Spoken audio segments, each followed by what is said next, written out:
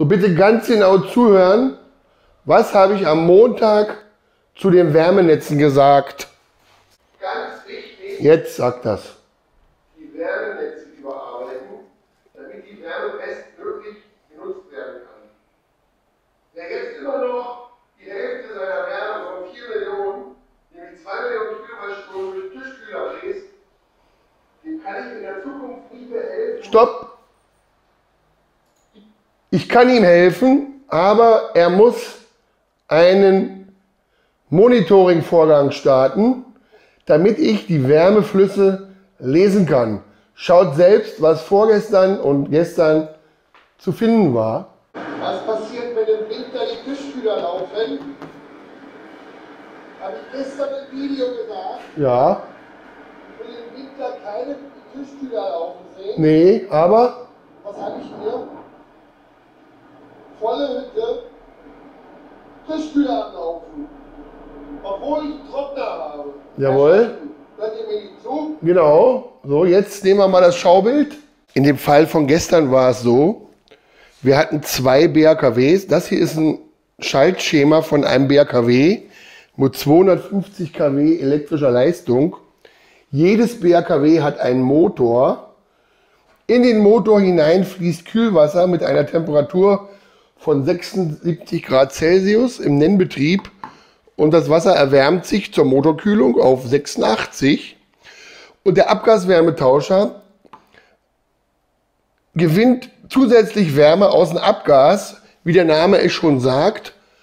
Und dann gelingt es uns oft auf 93 Grad das Wasser zu erhitzen. Und dann wird es über den Plattenwärmetauscher in das Wärmenetz gefördert. Und zwar einerseits mit Hilfe der Motorkühlkreispumpe und andererseits auf dieser Seite mit der Heizungspumpe. In diesem Fall war es so, die Anlage hatte zu wenig Gas produziert und ein BRKW lief in Volllast und ein BRKW lief in Teillast. Der Trockner dieser Biogasanlage an der Wärmenetzseite lief aber in Volllast weiter und hat das Netz aufgrund der tiefen Außentemperaturen ganz stark ausgekühlt. Hier an dieser Messstelle hatten wir nicht mehr 71 Grad, sondern nur noch 66. Dadurch hatte sich dieses Kühlwasser hier zu stark abgekühlt. Dies hat die BAKW-Steuerung bemerkt, hat dieses Mischventil geöffnet und das heiße Wasser dem Motor zuge zugespielt.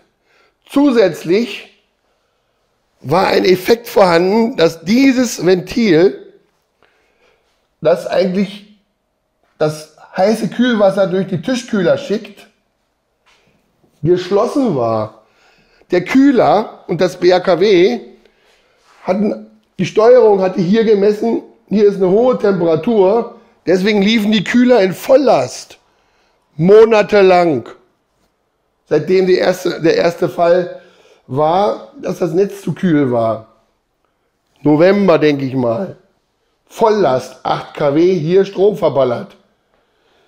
Dem Motor wurde zu heiß, das Ventil war zu, das Wasser lief hier, der Motor wurde zu heiß und der, die, die Öltemperatur war viel zu hoch, über 95 Grad.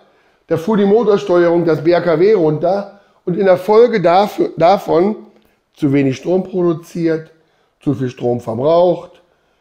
Und wie lösen wir das nun? Indem wir diese Fälle auf unsere Schemen zurückführen und hier diese Messpunkte natürlich dauerhaft überwachen.